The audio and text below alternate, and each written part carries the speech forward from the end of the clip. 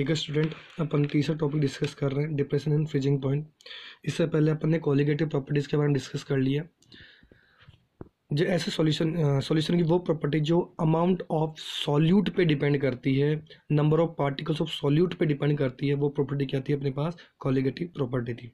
जो अपन ने चार टाइप की बताई थी, पहली थी relative lowering of vapour pressure जो डिस्कस कर चुके हैं, दूसरी थी इलेवेशन इन बॉइलिंग पॉइंट और जो तीसरी पॉइंट है अपने पास है, वो है डिप्रेशन इन फ्रिजिंग पॉइंट तो फ्रिजिंग पॉइंट के बारे में डिस्कस कर रहे हैं कि freezing point is the temperature at which the solid state solid and the liquid state of the substance है द सेम वेपर प्रेशर इसका मतलब क्या हुआ कि vapour pressure in liquid phase are equal to the vapour pressure in solid phase in that temperature is called freezing temperature और freezing point अब ये होगा कि जब एक नॉन वोलेटाइल सॉल्यूट एक प्योर सॉल्वेंट में एड किया जाएगा। That means when a non volatile solute is added to the pure solvent then freezing point of the solution is decrease the freezing point of the solution is always less than that of the pure solvent ये same topic है। अपन ने discuss किया था कि एक pure solvent लिया मैंने। और उस प्योर सॉल्वेंट में क्या कर दिया मैंने? एक नॉन वोलेटाइल सॉल्यूट ऐड किया। ठीक है? जैसे मैंने नॉन वोलेटाइल सॉल्यूट ऐड किया सॉल्यूशन बना। अब इस सॉल्यूशन का जो फ्रिजिंग पॉइंट है, वो क्या हो गया? डिक्रीज हो गया। ठीक है? तो इसको मैं डिनोट कर रहा हूँ टी एफ़ एस से और प्योर सॉल्वेंट का जो फ्रिजिंग पॉइंट है, उसको डिनोट कर रहा हूँ टी एफ़ एफ़ से। ठीक है? तो एक प्योर सॉल्वेंट का फ्रिजिंग टेम्परेचर ज़्यादा होता है इसके सॉल्यूशन के फ्रिजिंग टेम्परेचर के।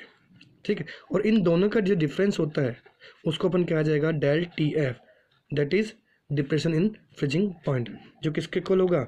T F naught minus T F solution के।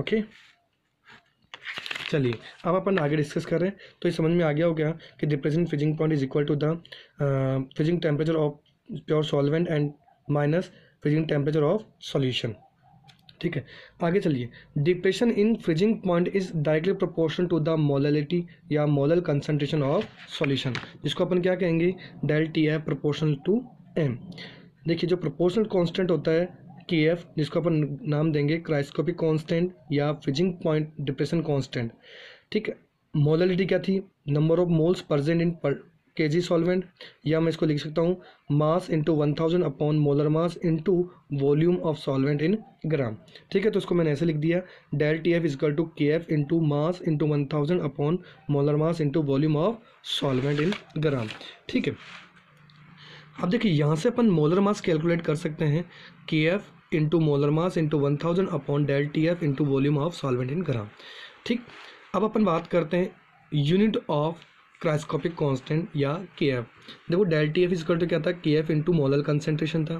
तो यहाँ से के एफ़ निकाल लिया टेम्परेचर अपॉन मोलर कंसेंट्रेशन हो गई। टेम्परेचर की यूनिट क्या हो जाएगी? कैलविन और जो मोलर कंसेंट्रेशन होती है, वो क्या होता है? मोल पर के सॉल्वेंट होता है, ठीक है? तो उसको मैं ऐसे लिख सकता हूँ। कैलविन किलोग्राम ये ऊपर चलाया गया, और मॉल इनवर्स ठीक? अब आगे देखिए।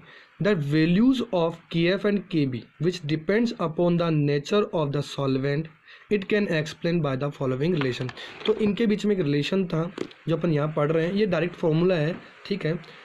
के एफ़ इजकल टू क्या हो जाएगा? R into M into T F square upon one thousand into enthalpy of fusion जहाँ टी एफ़ स्क्वायर क्या था? फ्रिजिंग टेम्परेचर कह सकते हैं फ्रिजिंग पॉइंट कह सकते हो। एंथैल्पी ऑफ़ फ्यूजन हो जाएगा एम क्या मोलर मास ऑफ़ सॉल्वेंट हो जाएगा।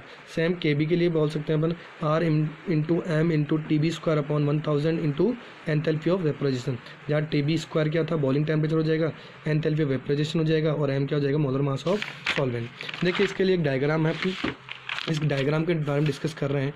ये वेपर प्रेशर को डिनोट कर रहा है, ये टेम्परेचर को डिनोट कर रहा है, ठीक है? एक्स एक्सिस और ये वाई एक्सिस हो गई। अब ये कह रहा है कि यहाँ देखिए, ये जो लिक्विड सॉल्वेंट है, यानी प्योर सॉल्वेंट है, इसका फ्रिजिंग पॉइंट वेपर प्रेशर यहाँ हो गया, ठीक है? और इसी प्योर सॉल्वेंट के लिए अपन ने नाम दे दिया टेम्परेचर फ्रिजिंग टेम्परेचर या टी एफ़ नोट अब देखिए, जैसे ही मैंने इस प्योर सॉल्वेंट के अंदर एक सॉल्यूट ऐड किया नॉन वोलेटाइल सॉल्यूट ऐड किया, इसका फ्रिजिंग वेपर प्रेशर क्या हो गया? डिक्रीज हो गया। ठीक है? वेपर प्रेशर कम हो रहा है। अब वेपर प्रेशर कम हो रहा है तो मैं क्या कह रहा हूँ डिप्रेशन फ्रिजिंग पॉइंट, यानी फ्रिजिंग टेम्परेचर भी कम होगा। ठीक है? तो यहाँ देखिए, ये जो टेम्परेचर वो प्योर सॉल्वेंट के लिए हो गया और ये जो टेम्परेचर है, जो बनने वाला सोल्यूशन है, उसका हो गया। दोनों का जो डिफरेंस है, वो क्या कहलाएगा? डिप्रेशन इन फ्रिजिंग पॉइंट कहलाएगा। ओके?